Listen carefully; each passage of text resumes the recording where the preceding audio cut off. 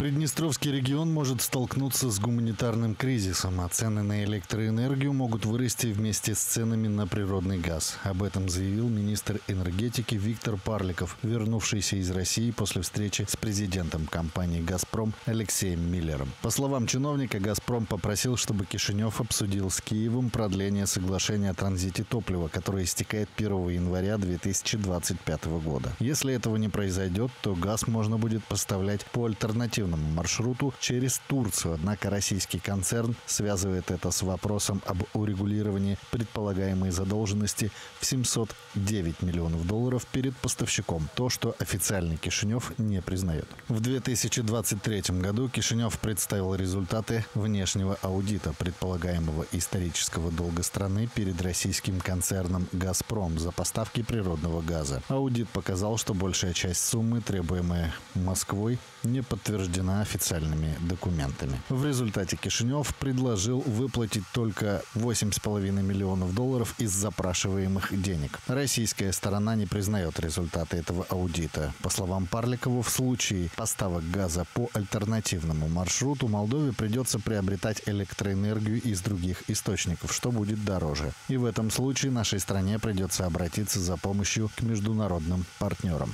Министр энергетики подчеркнул, что Молдова к различным сценариям, но все же переложил ответственность на российскую сторону. Он утверждает, что Россия может сократить объемы газа для Приднестровского региона и что при этом нет уверенности в том, что это топливо туда попадет, что может привести к экономическому коллапсу на левом берегу Днестра. Что же касается запасов газа для правого берега, Парликов говорит, что у нас достаточно запасов до января. Также есть резервы для месячного потребления или для покрытия температурных перепадов. В то же время министр не смог внятно ответить, почему Молдова не закупила достаточного объема газа летом, когда цены были ниже, а вынуждена закупать сейчас, когда стоимость голубого топлива на международном рынке резко взлетела. «Газпром» пока не отреагировал на заявление Парликова.